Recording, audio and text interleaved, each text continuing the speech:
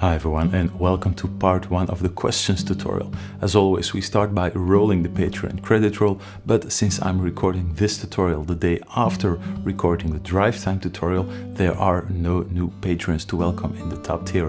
That leaves me with the opportunity to thank both Robert, Gennady and Fabian for their continued support. Those guys were here pretty much from the start. If you are looking for early access, notation or tablature files, then please head over to the Patreon page as well. If you want to support the channel without monthly fees, then there is a PayPal donate link down below in the description. Questions was a welcome change of pace. After doing quite a few difficult Tommy Emmanuel songs, this one certainly qualifies as one of his easier songs. Now bear in mind, it's still a Tommy Emmanuel song, so calling this one easy is probably a stretch. There are quite a few chord voicings with the thumb over the side of the neck, but in this particular song it is possible to uh, replace each and every one of them with a more traditional fingering without sacrificing anything at all, not the slightest detail has to be altered. If I have to point out one major difficulty in this song, then it's the role of the pinky on the fretting hand, because this little guy is getting quite a workout. Now, if that doesn't scare you, I suggest we get straight to work. So let's dive into the song. All you need is a guitar in standard tuning. For the sake of convenience, I've recorded this tutorial on a standard tuned acoustic. Tommy's most recent uh, YouTube version was played on an acoustic that is tuned down one full step, so from D to D, and the intervals in between are just standard tuning. And I think the original recording and definitely some of the live versions are played on a guitar that is tuned down one and a half step, so from C sharp to C sharp just so you wouldn't always have to tune down whenever you want to work at a certain part of this video, I just kept the guitar in standard tuning is probably easiest for everyone. As soon as you get the whole song down, tune down your guitar a full step or one and a half steps and then you can really experience those rumbling lows underneath that melody. That being said, let's dive straight into the intro and let's see what you have to get down.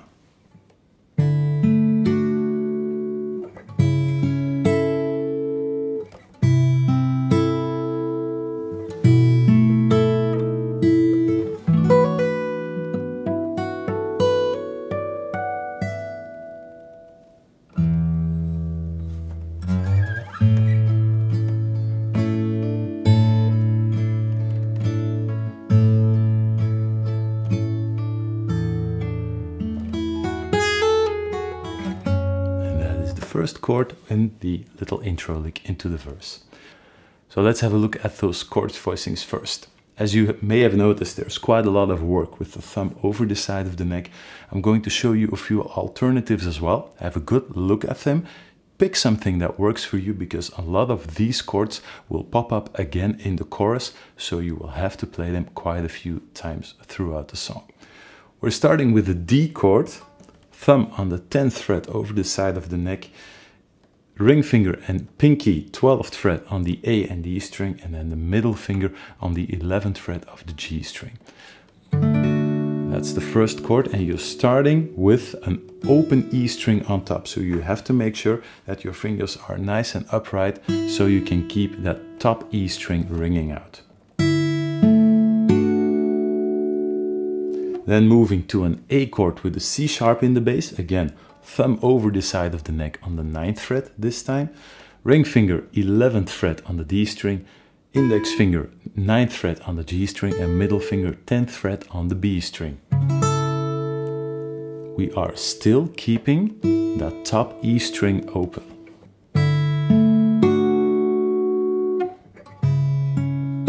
So you're starting again with nothing but that bass string and an open E string.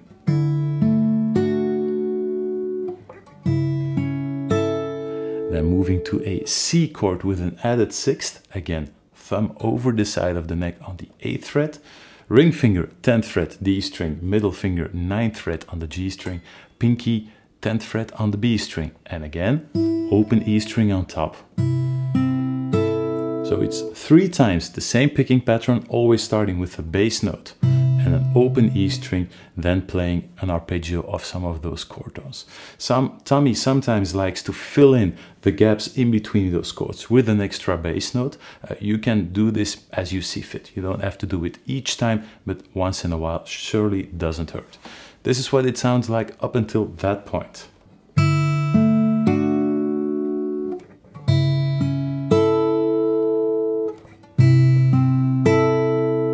And in just one of those bass notes. For instance. And then you're going for, this is a tricky chord in the beginning. If you come from that C7 chord down, then you have to keep the pinky and the middle finger where they are and apply a little bar. You need the low E string and D string to sound out and you have to still make sure that the open E string is still playable uh, as an open string. So make sure that bar doesn't hit or doesn't touch that open string. So coming from the C chord,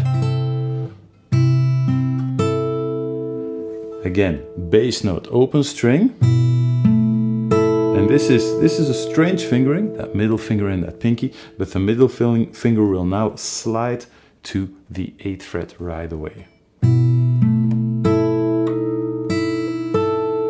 So that tricky fingering with the pinky and the middle finger while stretching out for that bar is just something that it doesn't take long to hold down or you don't have to hold down that chord for a long while. You're sliding down to the 8th fret right away. Let's play those four bars back to back.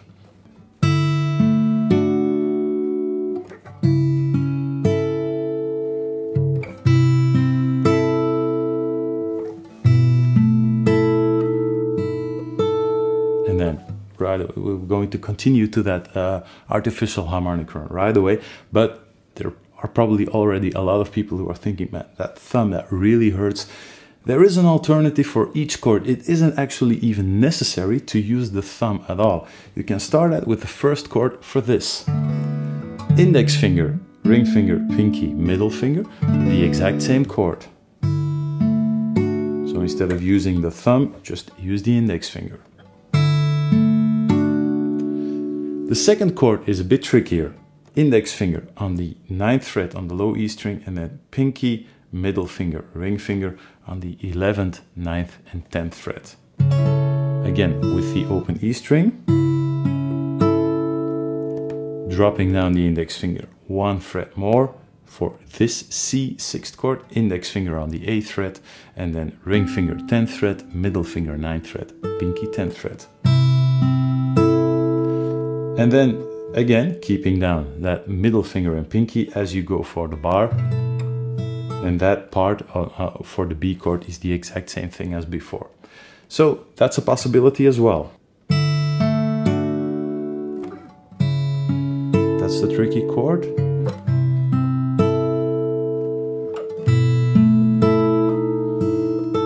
Exact, exact same thing, the exact same notes. Now the thing has changed, only the fingering, no thumb, but the index finger. I find it easiest in some parts of the song to switch them around. I often play the first D chord, and you will see in a second why, that often D chord like this, then switching to that A over C sharp chord like this, then back to the C chord with the index finger, because this is actually a little easier to move down to get that bar across the seventh fret. So see what works for you. I've shown you the original Tommy Emmanuel method and the uh, variations or the alternatives on that and you can pick and choose whatever works for you. Then we are heading for a typical Tommy Emmanuel artificial harmonic run. Bar across the 7th fret across 5 strings hammering on and pulling off on the 9th fret on the high E string. And then it's all artificial harmonics on the 19th fret. So what you do if you have never done this, you can try this at the 12th fret. Point your index finger lightly to where the natural harmonic on the 12th fret uh, would sound out, just lightly above, straight above the fret. Point your index finger to that uh, particular spot and then pluck with the thumb of the right hand or your picking hand, whatever hand that may be if you're left-handed. So That's the first the first thing to try is to see if you can get those harmonics out that way without incorporating the left hand. So just on the 12th fret, lightly touching and lightly plucking those strings with the thumb underneath. The hard part is keeping your index finger stable and at the same spot while plucking that string underneath. Then we are adding in that bar at the 7th fret. We're counting up 12 frets extra, so that means we are ending up on the 9th fret and we're leaving that E string open. So we're going to pluck that harmonica at the 19th fret over an open E string. Uh, that's the basic technique. So you're going to do the same thing here. So plucking out those harmonics. Uh, no worries if they sound a bit silent. These harmonics or this type of technique sounds a lot more clear if you use a thumb pick or a plectrum. In this case, Tommy doesn't, so it's it's it's just plain flesh uh, of the thumb you're uh, striking the string with. Uh, and in this particular case, even in his recording, those harmonics just sound a little less bright and carry a little less volume than usual. Let's have a look because you will have to add in a few open strings as well. I usually plug those open strings with the ring finger or the middle finger, in my case mostly the ring finger. So what is happening is harmonic on the low E and A string, harmonic, harmonic, and then plucking for the B string with the bar at the 7th fret. So harmonic, harmonic, B string with the ring finger, harmonic on the D string plucking the E string open and hammering on to the ninth fret again. Again, harmonic on the seventh fret, harmonic, sorry, harmonic on the G string, not seventh fret, but harmonic on the G string, and straight after that, a harmonic on the B string. I'm showing you, I just made one little mistake. Instead of using the ring finger for that hammer-on, if it is possible for you, use the middle finger because right away you will have to stretch for the 12th fret. I find it a little easier if you use the middle finger for the hammer-on to then get to the 12th fret. If you use the ring finger, then this stretch is a bit awkward. Okay, so one more time. Harmonic E string, harmonic A string, B string, just plain, harmonic D string, E string, hammering on, harmonic G string, B string, and then adding in the pinky on the 12th fret on the high E string. That's the full lick.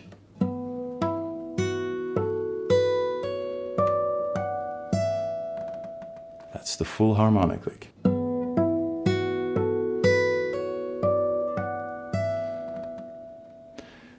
If you do it this slowly, it sounds a bit disconnected. As soon as you speed it up and you pick the volume up just a little, it, it will start to blend. One more time, that harmonic lick. Maybe the hardest part about playing that harmonic is as you are using the thumb to pluck those uh, harmonics uh, on the strings here, make sure that you don't accidentally mute one of the adjacent strings because everything has to ring out as long as possible. Then move to an open E string. Tommy leaves that ringing out and then he uses the thumb over the side of the neck just to hammer on lightly. It's not really meant as, as a full-on hammer on, it's just as an effect sliding up. And then he will play an open A string as the bass note for the next bar. You don't have to use the thumb for that slide. I don't see any real reason since you're ending up on an open bass string. So you can either use thumb over the side of the neck or just use, let's say, the index finger. Whatever you use, the, the, the effect will be roughly the same. Then you move to an A chord and you just play the bass note with the thumb and everything else is really light strumming. With a hammer on at the very last beat with the pinky on the G string to the 7th fret don't pay too much attention to which strings you would you should play down below in the tablature. With the thumb, it, you can basically play all the strings except for the low E string. And then on the beginning of the next bar, you pluck the low A string and the high E string at the same time. And you end with a pull off back to the sixth fret on the G string.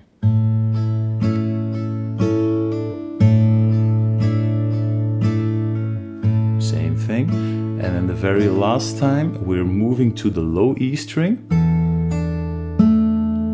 Just a few arpeggiated notes and then you will be launching in into that uh, opening lick of the verse, but we'll tackle that part as soon as we uh, address the verse. That was the full intro. Now, uh, consider which option to take in terms of those fingerings, because in the chorus, a lot of this stuff will pop up again. I'm gonna play the intro one more time, really slowly, then it's off to the next section.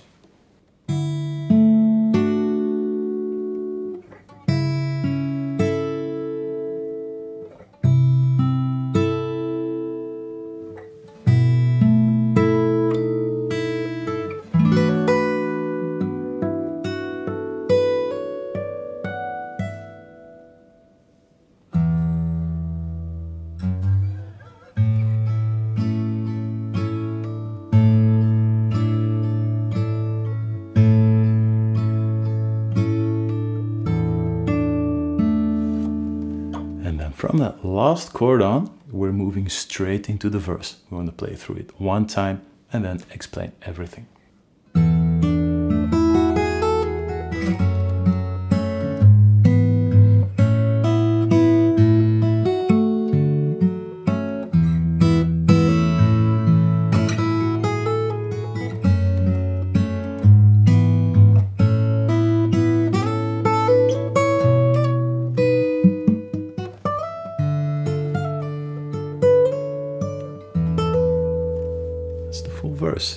After that, there's that little lick into the chorus. We'll address that once we get into the chorus. Now, you're starting with that open string lick. What you're doing is you're coming down from this chord and to glue those two movements together, the intro and the verse, you're keeping down that ring finger. So you have one string ringing out just a little bit more to an open E string, then pinky 7th fret on the B string, index finger 4th fret on the G on the high E string, and then sliding up and straight back down. Back to the B string and back to the open E string. This little uh, single note lick is tricky in the beginning. We've talked about this before. As guitar players, when we want a higher sounding note, we move to a thinner string. In these types of open string licks, that uh, type of reasoning doesn't really fly. So you have to really memorize this. So open E string, 7th fret on the B string, sliding up and down while keeping down those other notes to the B string and back to the E string.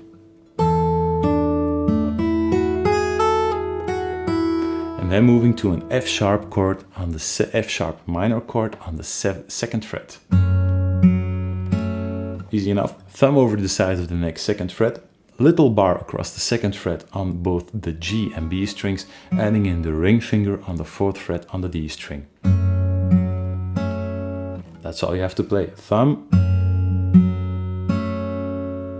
You could also play this, there is not a single reason why you should use or uh, necessarily have to use the thumb over the side of the neck, you can use a bar as well. Sounds exactly the same.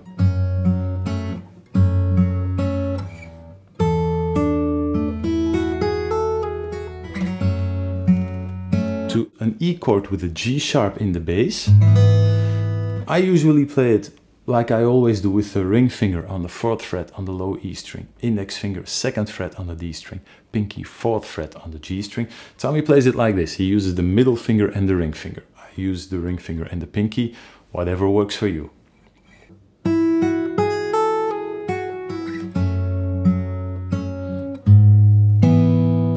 And then to a bar across the 2nd fret. And you really uh, pulling that chord apart just a little bit more than usual, really uh, almost addressing each note, each note separately.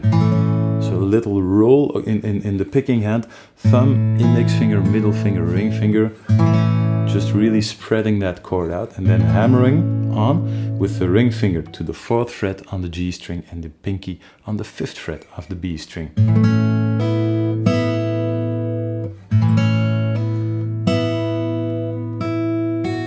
Moving, keeping down that bar across the high E string as well, moving to the high E string, while keeping down the bar, removing everything else and playing the second fret on the G string.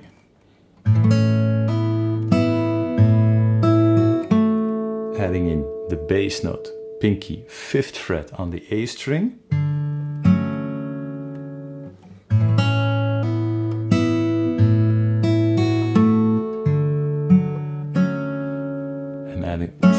Ending that little part with a, little chord two strings, three strings, doesn't really matter. So that's what in the tablature, that's what Tommy plays in the live version. Could just as well play. So use thumb, index finger, and then middle finger and ring finger to close that part out with. Everything we have up until that point.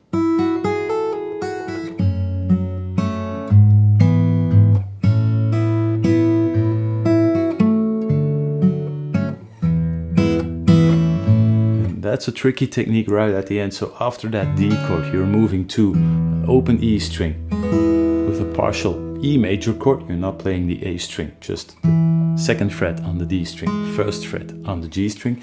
And then Tommy pulls a combination of techniques. I had never seen uh, someone do this up until transcribing this tutorial. He's sliding up the index finger to the second fret, so the middle finger stays where it is the index finger will slide up to the second fret and at the same time you will hammer on with the ring finger from the open B string to the second fret. So what you are getting really slowly is it's, it's really hard to do this slowly. So sliding up while, this is not gonna sound good, sliding up while putting down putting down that hammer on at the same time.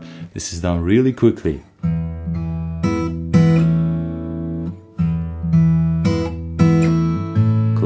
That part off with uh, an open A bass string.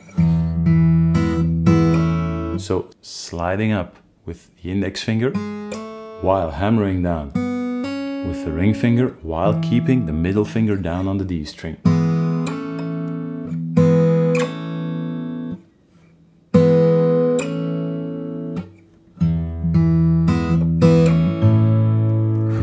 Cool technique, but not the easiest thing to do. If you want to skip past this while keeping one of those embellishments, then you could play and just move the index finger up by itself and just hammer on with the ring finger on the B string. Sounds a little bit different. This is what I always thought Tommy played, so I, I was wrong, but it doesn't sound half bad either.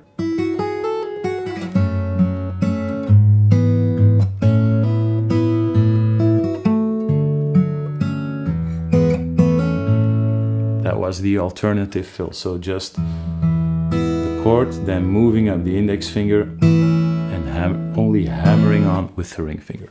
So that's an alternative. Now, the second part of the chorus starts right away again with that same open string lick.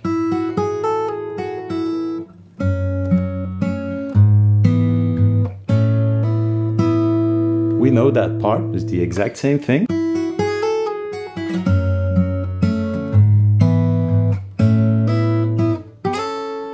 To a sixth on the fifth fret, middle finger sixth fret on the G string, index finger fifth fret on the high E string, and you're sliding up, coming with the same fingering from the third or fourth fret. Doesn't really matter how far this uh, slide uh, gets to move. Hammering on to the seventh fret with the ring finger and the pinky, and sliding up to the ninth fret.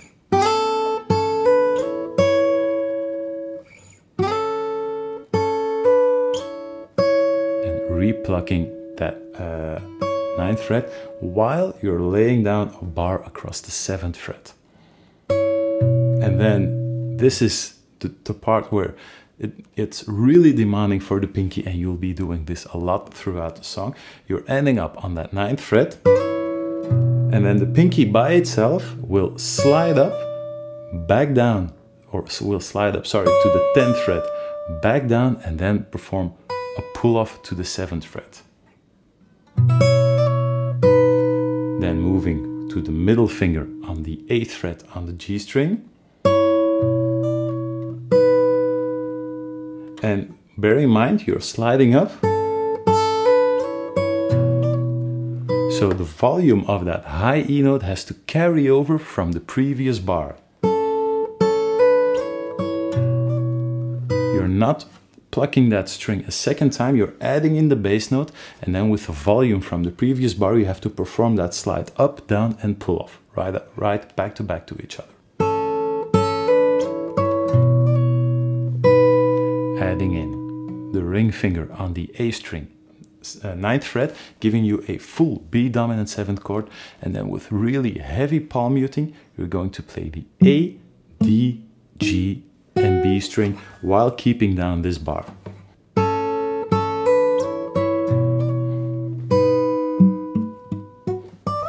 Pinky from the 10th to the 12th fret, sliding up, make sure this car note carries over into the next bar.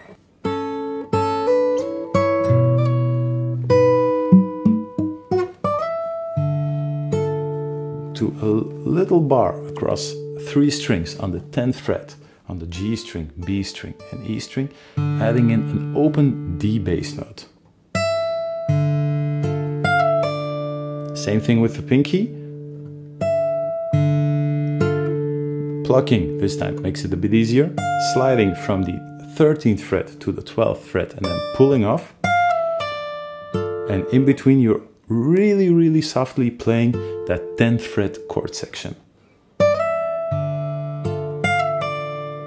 Then with the pinky to the 12th fret on the B string, sliding up to the 14th fret, that might hurt for a second. Back to the high E string, you're still keeping down that bar. As the final chord, hammering on from the 10th fret with the pinky to the 12th fret and keeping the ring finger on the D string, 12th fret as well. That is where the verse is concluded. That last part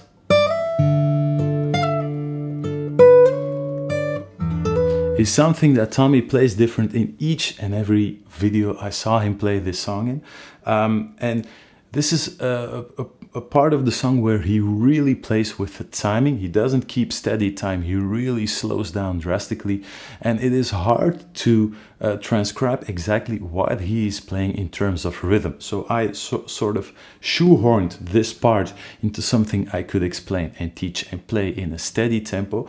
But if you feel like replacing or, or uh, putting some notes in a different spot in terms of timing, then go ahead. That is exactly what he is doing in this part as well.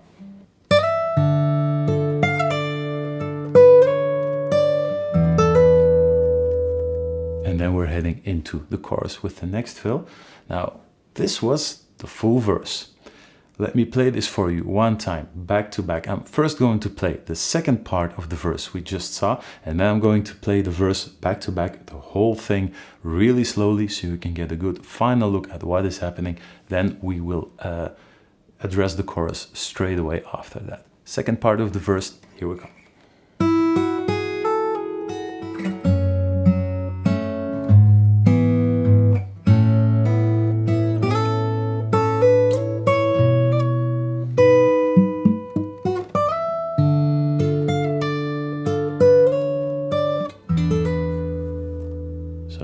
Second part we just looked at. Now I'm going to play the full verse from start to finish. We're even going to start in that, that those four final bars of the intro, just to show you how it transfers from that final intro section to the verse section itself. Here we go.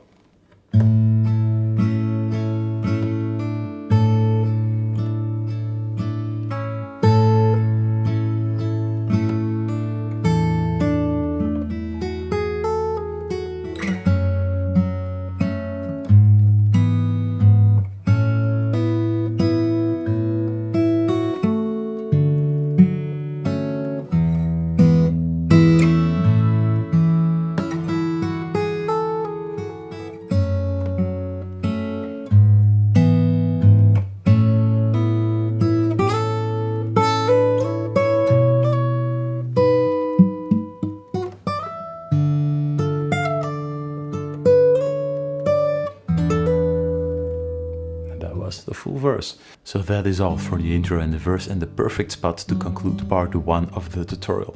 Take some time to get this into your fingers. Part 2 will be published next week and in that part we'll be taking a look at both the chorus and the bridge. See you then.